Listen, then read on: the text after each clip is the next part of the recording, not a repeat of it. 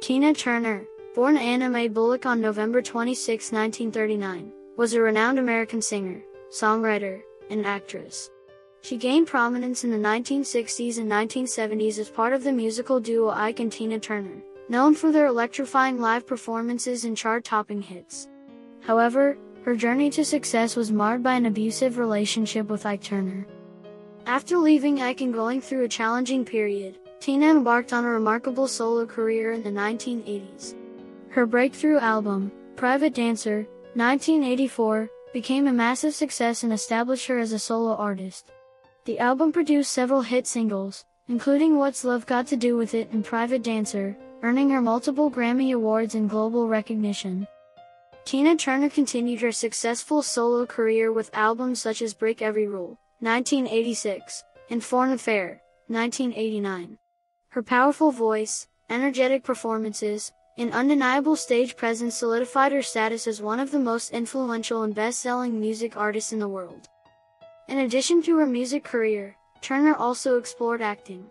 She appeared in notable films like Tommy, 1975, Mad Max Beyond Thunderdome, 1985, and What's Love Got to Do with It, 1993, a biographical film that portrayed her tumultuous relationship with Ike Turner and her triumphant comeback. Turner's retirement from performing was announced in 2008 after her final tour, the Tina 50th Anniversary Tour. However, she collaborated on the documentary Tina, released in 2021 on HBO, which delved into her life story, struggles, and triumphs. Beyond her immense talent, Tina Turner was admired for her resilience and ability to overcome adversity. Her personal struggles, including surviving an abusive relationship and rebuilding her career, inspired countless individuals. Turner's contributions to the music industry cemented her as an icon, and she was recognized as one of the greatest singers in the history of rock music. Throughout her career, Tina Turner received numerous accolades, including Grammy Awards, MTV Video Music Awards, and inductions into the Rock and Roll Hall of Fame and the Grammy Hall of Fame. Her influence on popular culture was undeniable, and her music continued to resonate with audiences worldwide.